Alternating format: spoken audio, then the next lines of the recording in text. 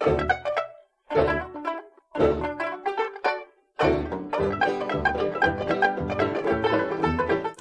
everyone and welcome back to Scandinavian Design 101. I'm Sanna. I'm Andreas and we're two Swedes and we love design.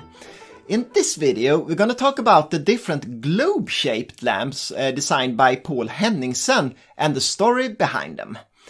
At least three of them looks confusingly similar at the first glance, but differ quite a bit if you take a closer look. After watching this video, you will be able to tell the difference between the models. Let's get started. It's a nerdy video. Yeah, it is. This story began already in the spring of uh, 1921 when the 27 year old Poul designed a lamp for the dining room of his relative Inger Kragelund. Poul had already experimented with different glass lamps, but this was the first metal lamp he ever designed. Traditionally, glass prisms were used to give lamps a more pleasant light, and the modernist Poul wanted to achieve this without the use of prisms. He designed a lamp constructed from polished brass pipes bent in circles of different sizes. Hung like a sphere with the light source in the middle, Poul believed uh, the shiny brass would reflect the light in all directions. Sadly, the rings uh, casted stripy shadows on the wall, and the lamp was therefore hardly suitable as the main light source in a room. No. And in the fall of the same year, uh, Poul designed another metal lamp for the Artists' Fall exhibition in Copenhagen. At the exhibition, Poul created an interior together with a friend and famous artist Axel Salto. Above a table, Poul placed a lamp similar to the one designed for Kragelund, but constructed from flat rings of silver-plated metal instead of brass pipes. It was made uh, by the master brassier uh, Jörgensen in Copenhagen, who wanted a large sum of $31 for the job. Mm. And Poul managed to avoid shadows on the walls, but on the other hand, this new lamp didn't spread the light properly. It was dark underneath and blinding when seen from the side. None of these two spare lamps were ever put into serial production. The following years, Poul continued developing lamps, always striving to create a non blinding lamp, still spreading the light in all directions. In the fall of 23, Poul was commissioned by Kåre Klint to design lamps for the Thorvaldsen Museum in central Copenhagen. Poul immediately started developing different prototypes made from a number of polished metal shades reflecting the light in different directions. Shadows was to be eliminated and the blinding effect minimized. Sadly, Klint was removed from the Thorvaldsen project after only a short while, and no lamps by Henningsen were ever used at the museum. But the experimentation wasn't fruitless, and the spring of 24, the prototype Type 2B yeah. was finished. It was created together with the colleague Knud Sørensen, and the light distribution made it suitable as the main light source in a room. Sadly, the lamp turned out to be quite blinding and therefore unpleasant to look at. To solve the problem, Henningsen and Sørensen placed more shades on the lamp and created a new prototype called Type 2A. Yeah. A after B, huh? Yeah, that's hmm. confusing. okay. A sphere-shaped lamp similar to some of the lamps Henningsen later would come to design for Louis Poulsen, Together with three different table lamps, the two prototypes were sent as entries in a design competition where the winning entries would be featured in uh, the 1925 Paris World's Fair. And it soon became clear that uh, the innovative lamps by Henningsen and Sørensen would be chosen for the World's Fair, and the two men desperately needed to find a company to produce them. Henningsen met with uh, Sofus Kåstrup Olsson, who was the owner of the lighting manufacturer Louis Poulsen. Uh, but the meeting was somewhat of a disappointment for Poul. As it turned out, the two men had done some major errors uh, and the lamps wouldn't distribute the light in a satisfactory way. With help from the technicians at Louis Poulsen, the, the prototypes were yet again redesigned.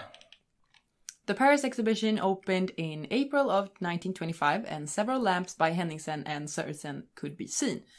Most interesting was probably the so-called Paris lamp, which in a couple of years would develop into the legendary PH3 shade lamp system.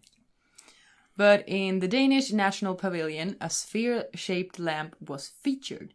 It was monumental in size and constructed from 12 silver plated metal shades reflecting the light source as well as the sunlight. This lamp is indeed the ancestor to the well known sphere lamp later designed by Henningsen. Its biggest flaw was the way it dazzled the eyes of the spectators. Dazzled in a bad it way. blinded. Uh, You it blinded have written them. dazzled, Yeah. so I'm saying dazzled. Yeah, But that's something positive. yeah, Yeah. So it's you yeah. me. made the wrong choice. Yes. For several years, Poul would concentrate on designing and developing his three-shade lamp system, uh, but in 1942 he designed a almost spherical lamp, the balloon-shaped spiral lamp made from one long spiral-shaped shade. It was designed uh, for the auditorium at the Aarhus University, a room with an impressive 19 meter ceiling height. The architect uh, C.F. Möller commissioned Henningsen to design suitable lamps, and the result was the spiral lamp. They were indeed huge, with a height of almost 130 centimeters and a diameter of uh, 75 centimeters. The lamp was held together by three metal struts, and the construction was a very time-consuming process. And these impressive lamps were uh, expensive and never put into serial production. Um, in 1964, Poul designed a similar lamp for the FDB headquarters in Copenhagen suburb of Albertslund. And these lamps were constructed from uh, three spirals made from three different types of metal. And that's very uh, good looking. Uh, a few of these spiral lamps uh, has been up for auction in recent years and always sold for huge sums of money. In 2017, uh, one of the FDB lamps uh, was sold for almost 180,000 US dollars by the auction house Phillips. In 1957, the architect uh, Charles uh, K. K. K. Hjertild asked Poul to design lamps for the church at the Skodsborg Sanatorium. It was way too expensive to use spiral lamps, and Poul decided to design a cheaper version. The result was uh, kuglen, which simply means the globe in Danish. Instead of a single spiral lamp, it was constructed from 13 circular shades, painted orange to give a pleasant light. Kuglen is uh, similar to the lamp designed for the Paris World's Fair 32 years earlier, but significantly smaller. Uh, the diameter is uh, 60 centimeters. Yeah.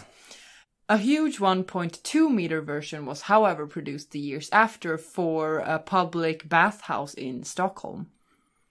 Nowadays, a wide version of Kuglen is produced by Louis Poulsen, uh, sold for approximately $8,500.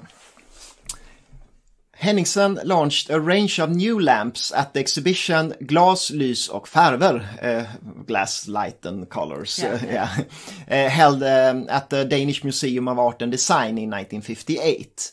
And the biggest success was probably the PH5, which still is a big seller produced by uh, Louis Poulsen. Another lamp exhibited was the Kuglelamellampe, Danish for the Globe Lamella lamp, yeah, something like Ish. that, ish. Uh, it's indeed a development of the Type 2A he designed already in 1924. It was constructed from eight aluminum shades painted white on the inside and mirror polished on the outside. For several reasons, uh, this lamp was only exhibited at uh, this single exhibition, then forgotten and not put into production. Poul chose to concentrate on the more successful PH5 and not least Artichoke, and there were not time to refine the Kugle Lamell. But then, in 1983, Louis Poulsen chose to uh, commence production, and this somewhat redesigned version uh, called the PH Snowball has all white shades and chrome uh, details, and it has a retail price of just under uh, $3,000. Yeah. Already in uh, 58, Poul was planning for an even better globe shaped pendant lamp. The result was the most technically advanced lamp ever designed by Henningsen, and it took four years to complete. In 62, the Contrast lamp was launched. It has 10 shades, each with four different finishes red, blue, white, and polished metal. Each shade is also bent in three different directions, making the Contrast three lamps in one. The first lamp is the white areas on the bottom of each shade and polished areas on the top, giving most of the light. The second lamp is the polished area on the bottom and white on the top, making the light spread evenly over the shades. The third lamp is the blue on the inside and red on the outside, giving color to the light. By adjusting the height of the light bulb, the color contrast can be adjusted, hence the name. Yeah. It's very cool. Yeah, it's a very cool and advanced lamp. yeah. I want one. Yeah. In uh, 91, production was discontinued, and nowadays you'll need to pay about a thousand uh, dollars on auction. Yeah. That's freaking cheap. yeah, that's that's cheap for Yeah. such a wonderful It lamp. is.